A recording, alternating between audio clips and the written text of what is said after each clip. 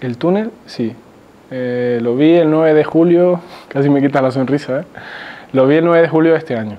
La verdad que, bueno, se dieron una serie de circunstancias. Eh, estaba entrenando, estaba estudiando, estaba haciendo prácticas en un estudio y estaba trabajando.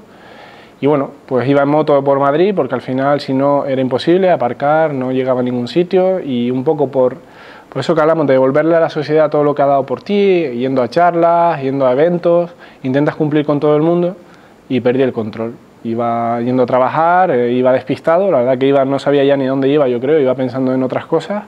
Perdí el control de la moto, me caí con la mala suerte de que aunque no iba muy rápido, la moto me cayó encima y, y bueno, no, no llegué a ver el túnel porque no perdí el conocimiento, pero pensé que no lo contaba. ¿eh? Casi casi haces las cosas por rutina y te olvidas de decirle te quiero a tu madre, a tu padre, te olvidas de salir a veces con los amigos, no, ya quedaremos, no te preocupes, la semana que viene, y vas alargando.